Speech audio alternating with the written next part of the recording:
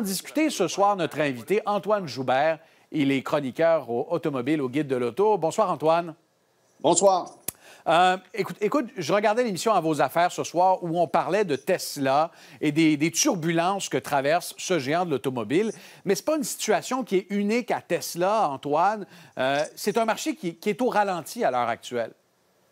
Exactement. Si on regarde l'industrie automobile, à pareille date l'année passée, les cours étaient vides, on vendait euh, au PDSF, au prix de détail suggéré du manufacturier.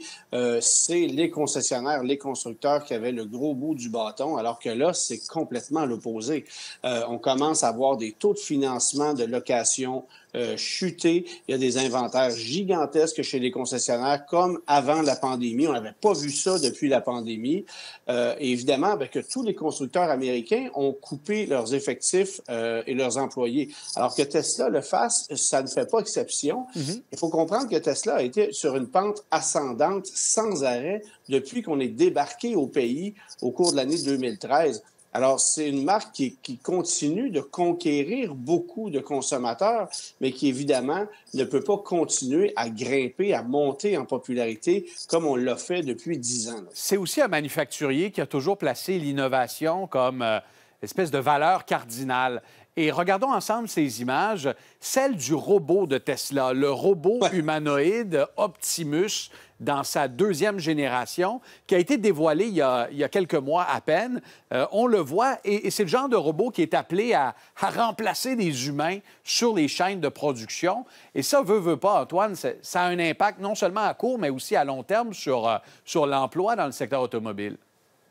Ben, c'est-à-dire que non seulement on est en train de développer ce robot-là, Optimus, qui visiblement va euh, être capable de bien gérer l'assemblage des véhicules Tesla, mais les voitures elles-mêmes également ont moins de composantes euh, qu'on en avait il y a quelques années. Si on regarde la modèle 3 qui a été lancée pour 2024, un modèle évolutif, ben, le sous-bassement du véhicule n'est conçu que d'une seule pièce, d'une seule pièce pardon, à l'avant comme à l'arrière, ce qui veut dire qu'on élimine le nombre de pièces, on facilite la rapidité de fabrication d'un véhicule et forcément que dès qu'il y aura un petit accrochage, un accident avec un véhicule comme celui-là, ce sera beaucoup plus difficile à réparer. À ce moment-là, ben, le véhicule se retrouvera à la casse, peut-être prématurément.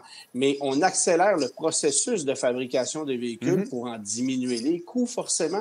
Et ça explique pourquoi euh, Tesla travaille notamment sur ce robot qui semble quand même assez prometteur. Assez prometteur et, son stade de développement, on l'a vu sur les images, est assez avancé. Ça nous laisse présager des grandes transformations dans le secteur manufacturier pas seulement dans l'automobile. En terminant, un mot sur les autres constructeurs. On pense à Kia, à Hyundai, qui livrent des modèles euh, qui offrent une concurrence féroce à Tesla.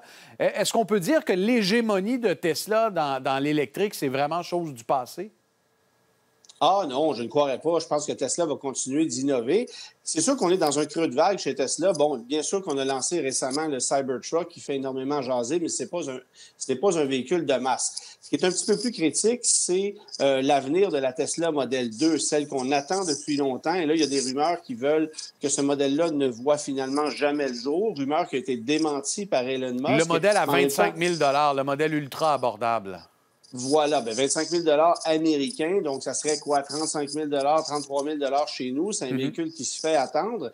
Et pendant ce temps, ben, il y a des manufacturiers automobiles qui lancent des véhicules plus abordables. Pas nécessairement chez nous en Amérique du Nord, mais à l'échelle mondiale. Euh, il y a le fabricant de voitures chinoises BYD qui prend la pôle en ce moment et qui vend des voitures électriques sérieuses, très bien construites, à prix plancher. Alors pendant ce temps-là, ben, Tesla a une gamme de modèles qui se résume à quatre véhicules qui n'ont pas euh, beaucoup évolué au cours des dernières années. Mhm. Alors, le dernier modèle qui a été lancé, mis à part le Cybertruck, c'est le modèle Y qui date de 2019. Il y a des petites évolutions, certes, mais on est dû pour des nouveaux produits. et, on constate effectivement les immenses défis. Antoine Joubert du Guide de l'Auto, merci et, et à bientôt. Toujours un plaisir. Au revoir. Au revoir.